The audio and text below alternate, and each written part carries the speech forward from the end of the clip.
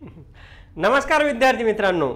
इयत्ता दहावीच्या परीक्षा देणाऱ्या विद्यार्थ्यांसाठी हा व्हिडिओ अत्यंत महत्त्वाचा आहे. हा जर व्हिडिओ तुम्ही पाहिला तर दहावीच्या इंग्रजीच्या पेपरमध्ये प्रश्न तिसऱ्या बीसाठी जे पाच गुण आहेत ते पाचपैकी पाच गुण तुम्हाला मिळणार आहेत. फक्त तुम्हाला पाहायचा हा व्हिडिओ शेवटपर्यंत.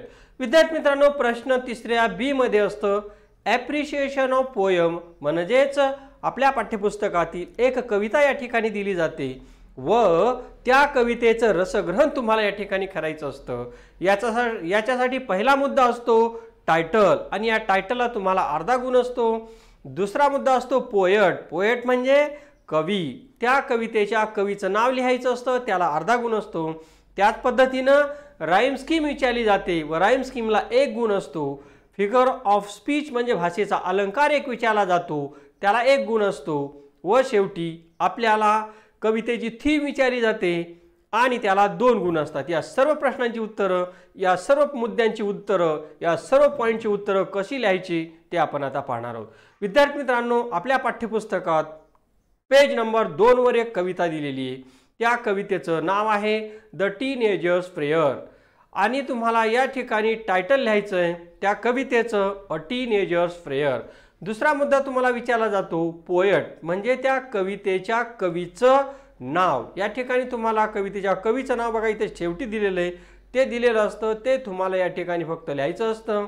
The poem is written by J Morse आणि त्याच्यानंतर तिसरा मुद्दा असतो रायमिंग स्कीम आणि या कवितेची राईम स्कीम तुम्हाला कवितेच्या आधारे लिहावी लागते. आणि या कवितेची राईम स्कीम आहे ए बी सी बी अशा पद्धतीनं उत्तर तुम्हाला या ठिकाणी लिहायचं आहे आणि त्याच्यानंतर पुढचा मुद्दा असतो फिगर्स ऑफ स्पीच म्हणजे भाषेचे अलंकार. या ठिकाणी एक गोष्ट लक्षात ठेवा. तुम्हाला परीक्षेमध्ये फक्त कवितेत असलेल्या एका फिगर ऑफ स्पीचचं नाव लिहायचं आहे त्याचं स्पष्टीकरण लिहिण्याची गरज नाही.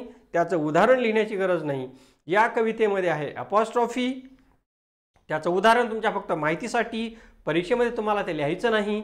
त्याच्यानंतर दुसरं उदाहरण आहे ॲलिट्रेशन म्हणजे अनुप्रास अलंकार. त्याचं उदाहरण दिलेलं आहे आपल्या माहितीसाठी परीक्षेत तुम्हाला लिहायचं नाही. त्याच्यानंतर पुढचा अलंकार आहे मेटॅफर आणि त्याचं उदाहरण आपल्यासमोर दिलेलं आहे. आणि शेवटचा अलंकार आपण या ठिकाणी घेतलेला आहे इन्व्हर्जन इन्व्हर्जन हा एक अलंकार या कवितेमध्ये आहे आणि त्याचं उदाहरण आपल्याला या ठिकाणी दिलेलं आहे. आणि शेवटचा मुद्दा असतो थीम किंवा सेंट्रल आयडिया म्हणजेच या कवितेची थीम काय आहे? सेंट्रल आयडिया काय आहे? ते आपल्याला बघायचं आहे. Every one has to pass various stages in life and among them the important stage is the teen age दुसरं वाक्य तुम्हाला लिहायचं आहे. A teenager has to take his own decisions आणि he is confuse in making the right decision because a wrong decision may ruin his whole life आणि शेवटचं वाक्य so he prays lord miss god to show him the right path विद्यार्थी मित्रांनो अशाच प्रकारचे नवनवीन video जर आपल्याला पाहिजे असतील तर जाधव ऑनलाईन एज्युकेशन या चॅनलला सबस्क्राईब करा. आणि हो आपल्या पेपरच्या दिवसापर्यंत या चॅनलवर लाईव्ह क्लासेस होणार आहेत. त्याच्यासाठी तुम्हाला चॅनलला सबस्क्राईब करावं लागेल आणि बाजूला दिलेल्या बेल आयकॉनला क्लिक करावं लागेल जेणेकरून लाईव्ह क्लासची लिंक तुम्हाला सर्वात अगोदर मिळेल. संपूर्ण व्हिडिओ पाहायला त्याच्याबद्दल धन्यवाद.